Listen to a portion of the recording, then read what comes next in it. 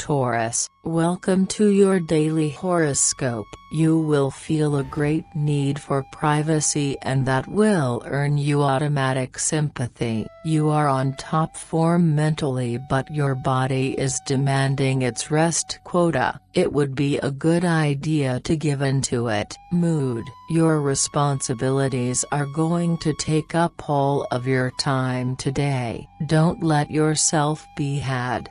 You'll have to fight for some slack, love. You will be full of inspiration. Make the most of this to make sure your demands are heard. Those around you will listen to you and take the earliest opportunity to show you that you have been understood. Money Nobody will be able to make you have doubts. You know you're right, but you can't go too fast. Work Everything is going to go too quickly for your liking. You'll have to make an effort to keep on top of urgent matters. Today, have a nice day Taurus, see you tomorrow.